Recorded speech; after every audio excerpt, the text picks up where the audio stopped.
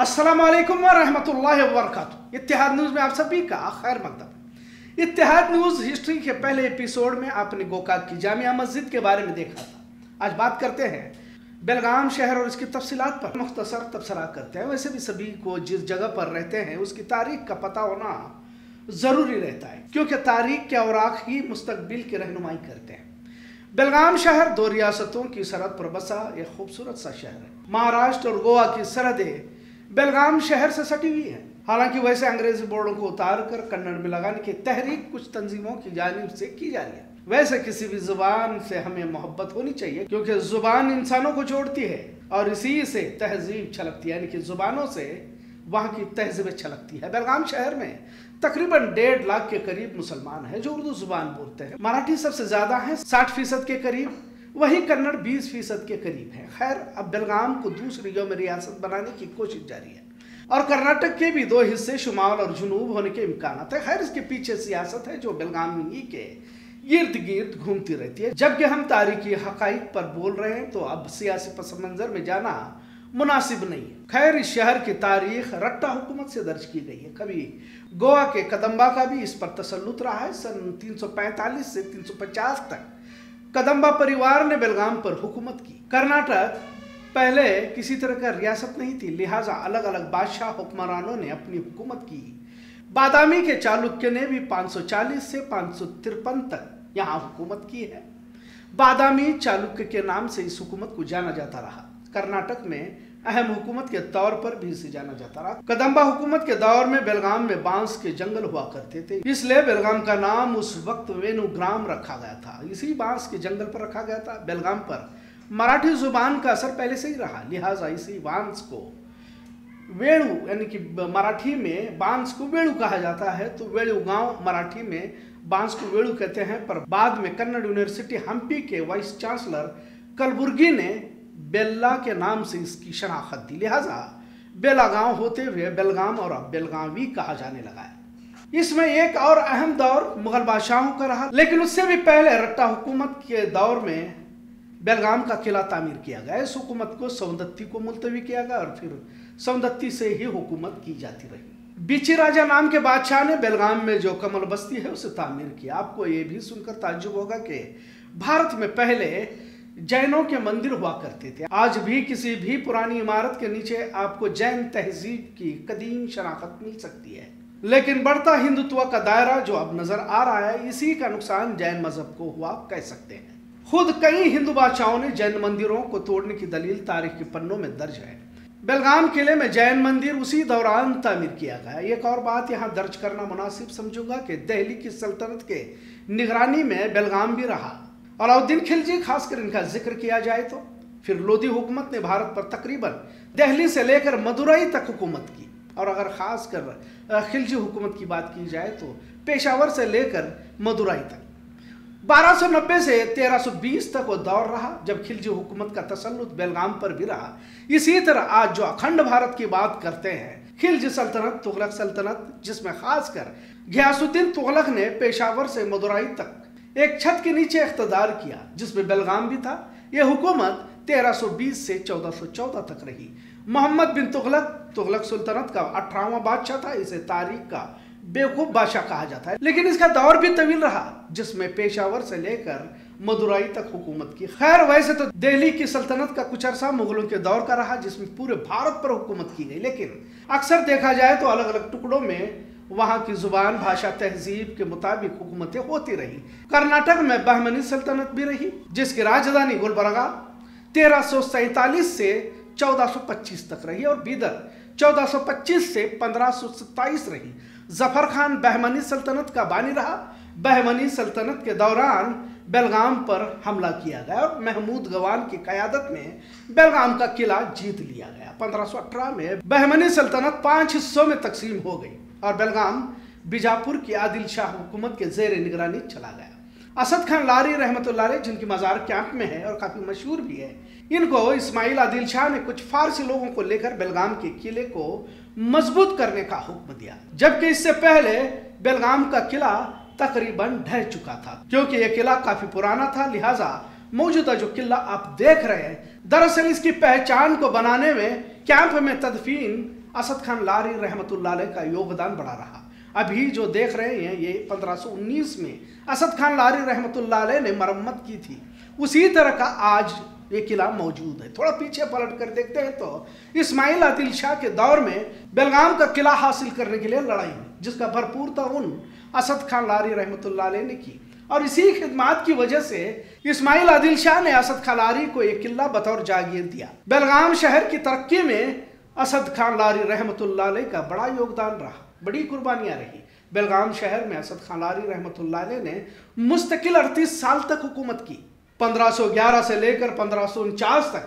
बेलगाम में असद खान लारी का दौर रहा, शहर के तरक्याती कामों को खूब अंजाम दिया। उससे पहले तरक्याती शहर के तौर पर बेलगाम को जाना पहचाना नहीं जाता था। इसी दौरान आदिल शाह हुकूमत बीजापुर ने कमांडर शेर खान को बेलगाम भेजा। और तरक्याती कामों को अंजाम देते हुए बेलगाम के करीब शाह पेट को बसाया, जिसे बाद में शाहपुर कहा जाने लगा। असद खलारी ने इसी किले में तमाम सिपे सालार और बादशाह के लिए शानदार मस्जिद सफ़ा की तामीर की। यह मस्जिद 1519 में मुकम्मल हुई। आज यह मस्जिद बंद रखी गई है। आज भी इसमें जो नक्श किए गए हैं, इसकी मिसाल देखने को मिलती है। पत्थर के खंभों पर अरबी में आयतों को नक्श किया गया ये नक्काशी फारस के कारीगरों ने बनाई है, ऐसा बताया जाता है। बेलगाम शहर में ऐसी कई तारीखी इमारतें हैं, जिससे मुस्लिम बादशाहों के निशान पाए जाते हैं। खैर, आदिल शाही हुकूमत को शिकस्त देकर सोलह में बेलगाम पर औरंगज़ेब आलमगीर रहमतुल्लाह ने कब्जा किया। औरंगज़ेब आलमगीर की हुकूमत कलील अरसे तक रही, क्योंकि 1707 में औरंगज़ेब रहमत का इंतकाल हुआ। सोलह में औरंगज़ेब आलमगीर के फर्जन मोहम्मद आज़म को यहाँ भेजा गया।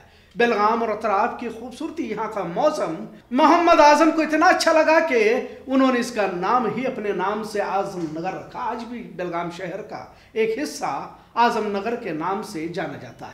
इसी दौर में मुर्तजा खान की हुकूमत रही तो मुर्तजा खान ने भी अपने नाम से मुर्तजाबाद रखा। इस तरह तारीख के औराक में बेलगाम को कभी आजमनगर तो कभी मुर्तजाबाद कहे जाने का ज़िक्र किया गया बेलगाम आज अगर दूसरी यौम रियासत कहते हुए देखा जा रहा हो, लेकिन पहले भी जुनूबी हिंद में बेलगाम एक खूबसूरत शहर के तौर पर ही अपनी पहचान बना चुका था। इटली के मुसाफिर करेरी ने अपनी किताब में बेलगाम और अतराफ को तजारती शहर के तौर पर दर्ज किया हुआ है। खैर, औरंगज़ेब आलमगीर के इंतकाल के बाद मराठा हुकूमत का दायरा वसी होता जा रहा था। लिहाजा शिवाजी महाराज की जानब से बेलगाम किले पर कब्जा किया गया। सोलह में शिवाजी महाराज के मराठा फौज ने बेलगाम किले पर अपना परचम लहराया। मराठों पर फिर पेशवाइयों का भी कब्जा हुआ। इसके बाद दौरे टीपू का भी बेलगाम शहर पर असर रहा। सत्रह में मैसूर के बादशाह हैदर अली ने बेलगाम किले को जीत लिया। हैदर अली और इनके फर्जंद टीपू सुल्तान शहीद रहमतुल्लाह का दबदबा तकरीबन दक्षिण में रहा।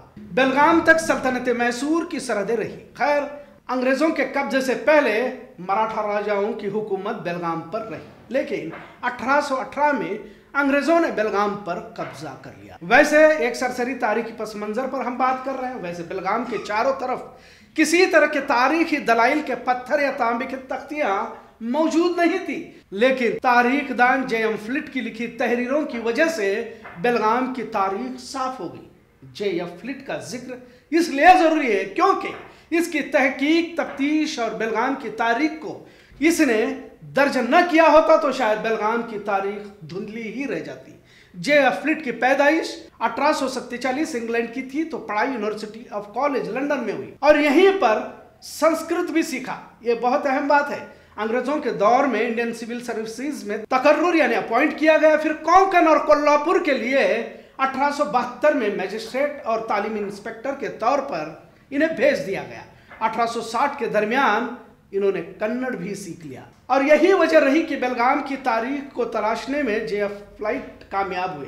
तकरीबन 30 से भी जायद तारीखी पत्थर, मजारात, तांबे पर लिखी इबारत और नौ चट्टाने मिली, जिससे बेलगाम की तारीख साफ़ हो गई। अगर तारीखी तौर पर कदीम होने का जायजा लिया गया तो बेलगाम जिला में सबसे पुराना, यानी कि सबसे कदीम अगर कोई जगह बताई जाती है तो वह खानापुर का हलसी गाँव है। हलसी गाँव से महज तीन किलोमीटर दूरी पर सात तांबे की तख्तियाँ मिली थी, जिससे पता चलता है कि पांचवी सदी में यहाँ कदम्बा की हुकूमत और हलसी कदम्बा हुकूमत में बतौर दूसरी राजधानी कहा जाता था। इससे पहले भी हमने बताया है कि जैन मज़हब के राजाओं का अक्सर तसल्लु कर्नाटक में देखा जाता है लेकिन कुछ लोगों ने जैन मज़हब की तारीख को बाद में मिटाने की कोशिश की है, जो कि वो मुसलमान नहीं थे।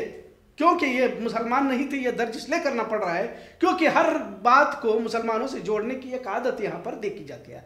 खैर, कदम्बा हुकूमत भी इन्हीं जैन राजाओं की रही। हलसी और कित्तूर के कई ऐसे मकाम तारीखी दलील पेश करते हैं जिस पर जैन राजाओं की शनाखत मिलती है और उस वक्त वेणुग्राम यानी बेलगाम का ज़िक्र मिलता है। उस वक्त हलसी कदम्बा हुकूमत का अहम शहर था। कदम्बा के बाद बेलगाम पर बदामी के चालुक्य ने हुकूमत की। पारसगढ़ के हुक्केरी गाँव के कई पत्थर और तख्तियाँ जो तांबे की थी बरामद की गई। फ़्लाइट के मुताबिक गोकाक से मिली लिखी इबारतें और तहरीर बेलगाम पर चालुक्य हुकूमत की तरफ़ इशारा करती है। मुगल बादशाह अलाउद्दीन खिलजी की हुकूमत तारीख में सबसे अहम तरीन पहलू के तौर पर देखा जाता है। दहली सल्तनत का दूसरा बादशाह के तौर पर अलाउद्दीन खिलजी को याद किया जाता है। इसकी हुकूमत बेलगाम पर भी रही। ये पहला बादशाह था जिसकी हुकूमत अफ़गानिस्तान से लेकर कर्नाटक केरला तक रही। 1313 में अलाउद्दीन खिलजी का बेलगाम दौरा भी बताया जा रहा है। उसी दौरान कर्नाटक के ही हासन तक खिलजी सल्तनत का परचम लहरा कर अलाउद्दीन खिलजी पलट गया। लेकिन इसके बाद इसकी फौज ने आगे, हसन के आगे तक इलाका जीत लिया। अलाउद्दीन खिलजी ने बेलगाम के दो गाँवों को अपना दफ्तर बनाया था, जिसमें रायबाग और उक्केरी रहा। दिल्ली से खिलजी सल्तनत रायबाग और उक्केरी सिफे सालारों को रवाना किया जाता था। बेलगाम के तारीख हक पर अगले जुमा आपसे मुलाकात होगी। इजाज़त दीजिए। इतिहाद न्यू देखने के लिए शुक्रिया। अल्लाह हाफिज।